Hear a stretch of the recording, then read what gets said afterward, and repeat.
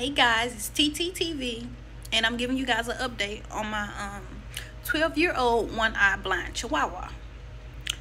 Um, no, she has not had the surgery. She has not had the surgery. I have been trying to raise money like you guys been telling me to do, but I haven't got anywhere with that. Like, it hasn't got anywhere. Like, it was like only two people who actually donated something, but other than that, it hasn't got anywhere.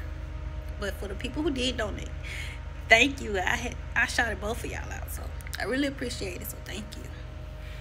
And um, what she's been using till she's able to get the um cataract surgery, I had found. Okay, so yeah, what she's been using till she's able to get the um cataract surgery is Lanomax. I don't know how many people heard of this, but they claim that um that it's better to try this before you get the surgery. So she's been using this for one month now, and it's been on and off because not every day she's gonna let me put in her eye. And I can say I seen no results, and the price for that was 104.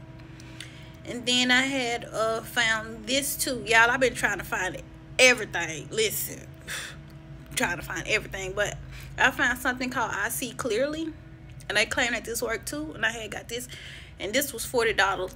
Forty dollars, and she been on this for like two months, and I still haven't seen no results. So it seems like really the only option is to get surgery because surgery costs so much, and I've been trying to find something that's much cheaper that may work till then.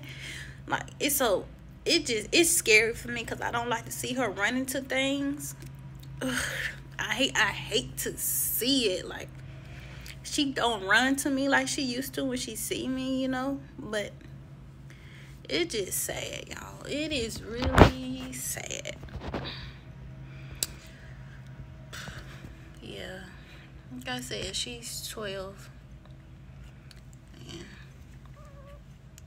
I don't I don't know what to say honestly, but if you really I mean if you want to donate still like I will put my cash app up because I really do need the help. And I will I do appreciate for the ones who are actually trying to help me and actually trying to get my video put out to get more people to see me, to see us, to get her the help that she needs. Like, I appreciate y'all so much. And I love y'all, and this is the update. So, tell them bye, Tuki.